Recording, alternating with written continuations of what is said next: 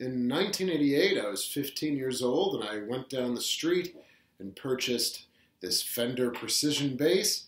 That's a 1972 uh, P bass Sunburst. And as I want to do, I came home and immediately removed the pickguard. Right? Why? Because Adam Clayton had his pickguard off, or at least most of the pickguard off of his P bass.